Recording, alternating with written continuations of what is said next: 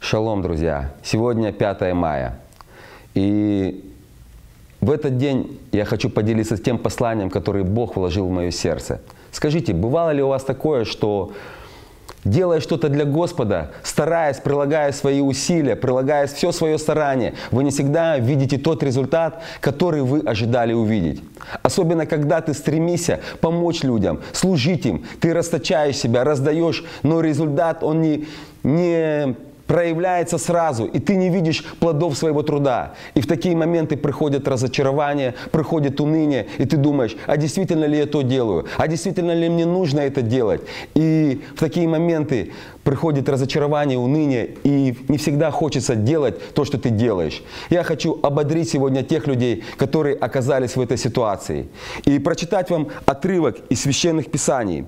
Евангелие от Марка, 4 глава, 26 стих. «И сказал, Царство Божие подобно тому, как если человек бросит семя в землю, и спит, и встает и ночью, и днем, и как семя всходит, и растет, и не знает он. Ибо земля сама собою производит сперва зелень, потом колос, потом полное зерно в колосе. Когда же созревает плод, немедленно посылает серп, потому что настала жатва». Знаете, мы, как люди, всегда рассчитываем увидеть результат сразу. Нам хочется увидеть то, что то, что мы делаем, оно приятно и угодно для Господа. Но Писание говорит, что это не всегда бывает сразу заметно. Жатва, она не всегда приходит сразу. Иногда между сеянием и жатвой всегда есть промежуток времени. И мы не видим то, что происходит в этот промежуток времени. И в это время наш Господь, Он совершает свою работу в сердцах тех людей, в которым мы говорили Слово Божие знаете, я хочу вам засвидетельствовать. Эм, буквально в прошлом году мы выходили на проповедь благой вести.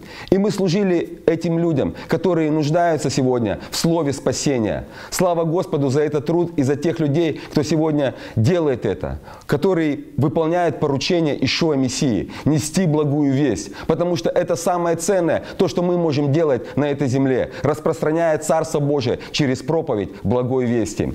И Буквально Прошел год с того момента, как мы проводили эту уличную, это уличное служение. И ко мне пришло на телефон сообщение. Одна сестра пишет, скажите, Михаил, правда ли, что это были вы, когда проповедовалось это слово?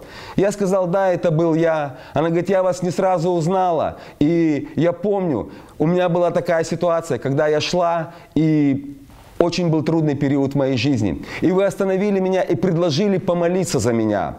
И сами того не зная, ни моей ситуации, ни моих событий, ни того, через что я прохожу, вы начали говорить в мою жизнь послание от Господа. И благодаря тому, что вы сказали, наступит время, и Бог выведет, и ситуация твоя изменится. Вы провозгласили Божье послание в мою жизнь. И ситуация, она не сразу стала меняться. И буквально через несколько месяцев я вдруг увидела, что события начали меняться сверхъестественным образом. Она мне сказала, я человек, который вырос в семье верующих родителей. И вдруг пришел момент в моей жизни, когда я поняла, что я сама попала в эту ситуацию, и что мне никто не сможет помочь. И даже Господь, Он отвернулся от меня. Я была разочарована, и казалось бы, что жизнь моя пришла в тупик. Но благодаря тому, что вы помолились и произнесли эту молитву, а слово ободрения в мою жизнь, моя жизнь реально начала изменяться. Благодаря Господу я теперь вижу, что это было послание от Бога. И буквально я хочу, говорит, сказать вам, что это не случайно, что через год Через год, в тот момент, когда события в моей жизни начали приходить в мир и согласие с Божьей волей, я не случайно встретила опять вас. И это было это было для меня знаком, это было для меня благословением, потому что я не сразу узнала вас, но я вспомнила те слова. Незнакомый человек, проходивший мимо, остановил меня и предложил помолиться за меня. Я рассказывала об этом своим друзьям, своим знакомым. Я говорила о том, что вы сделали, но это не мое, это Господь. И слава Господу. И теперь моя жизнь реально изменилась. Она попросила меня помолиться за нее и благословить еще раз – знаете, это слово, которое она сказала, оно ободрило меня, оно вдохновило меня и оно утешило меня. Потому что мы не всегда видим труд, который мы совершаем, мы не всегда видим жатву. Иногда мы сеем Божье Слово, иногда мы говорим людям послание об, об Ишуа Мессии. И не всегда люди откликаются и ведут себя так, как нам иногда хотелось бы. Но благодаря тому, что Бог, Он Бог благий, Бог милосердный, Бог любящий, Он знает сердца людей. И когда прийти и как утешить и как вдохновить свой народ. Нам всего лишь нужно быть каналом и источником передачи Божьего Слова для этих людей.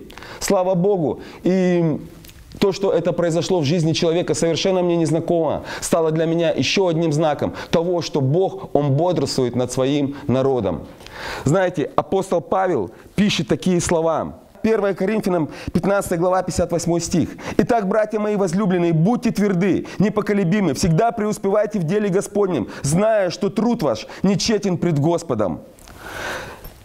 Наш труд, он нечетен пред Господом. Я хочу сегодня вдохновить тех людей, которые сегодня, возможно, молятся, которые, возможно, ходатайствуют, которые, возможно, несут благую весть и не всегда видят результат своих трудов.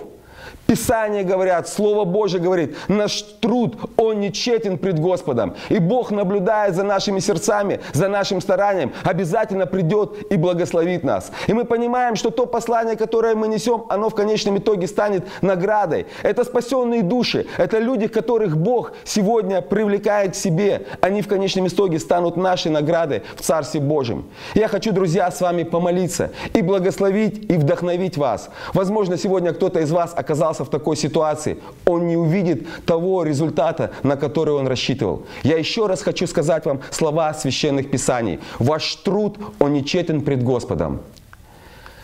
Дорогой Отец Небесный, во имя Ишуа Мессии, я сегодня обращаюсь к Тебе и ходатайствую за тех людей, которые сегодня несут послание благой вести для Твоего народа. Я прошу Тебя, Дух Святой, соверши сегодня свою работу, ободри и утешь тех людей, которые сегодня нуждаются в Твоем утешении, в Твоем ободрении. Ты, как добрый пастырь, ты посылаешь дождь ранний и дождь поздний. И земледелец, он долго терпит, ожидая плода. Но Слово Твое, вдохновляя нас, говорит, наш труд, он нечетен пред Господом. Я прошу, благослови сегодня и утешь тех людей, которые нуждаются в Твоем ободрении, в Твоем утешении. Я знаю, наша награда, она от Господа.